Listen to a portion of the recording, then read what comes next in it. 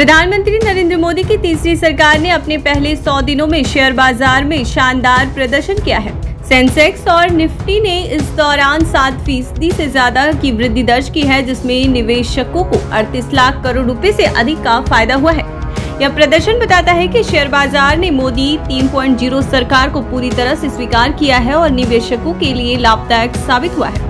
मोदी 3.0 सरकार के गठन के बाद बाज़ार ने शुरुआती दिनों में ही उछाल देखा था। 3 जून को चुनावी नतीजों से पहले शेयर बाज़ार में तीन फ़ीसदी से अधिक तेज़ी आई और कई प्रमुख कंपनियों के शेयरों ने बावन हफ्तों के उच्चतम स्तर को छू लिया। हालाँकि 4 जून को बीजेपी बहुमत से दूर रह गई, जिससे शेयर बाज़ार में स्थिरता आई और सेंसेक्स और निफ्टी में 9 फ़ीसदी की गिरावट दर्ज की गई।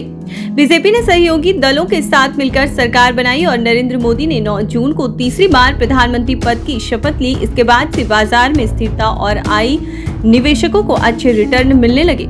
सरकार के 100 दिनों में सेंसेक्स ने 7.10 फ़ीसदी की बढ़ोतरी की, जिससे निवेशकों की संपत्ति में बड़ी वृद्धि हुई। सेंसेक्स 10 जून को छिहत्तर लाख चार हज़ार नब्बे पॉइंट आठ अंकों पर बंद हुआ था, जबकि 10 सितंबर को यह इक्यासी हज़ार नौ सौ इक्कीस पॉइंट उनतीस अंकों तक पहुँच गया। इस दौरान सेंसेक्स में पाँच लाख चार हज़ार इकतीस पॉइंट इकतीस अंकों की बढ़ोतरी देखी गई। निफ्टी ने भी इसी तरह की बढ़त दर्ज की, जिससे निवेशकों को अच्छी मुनाफा हुई।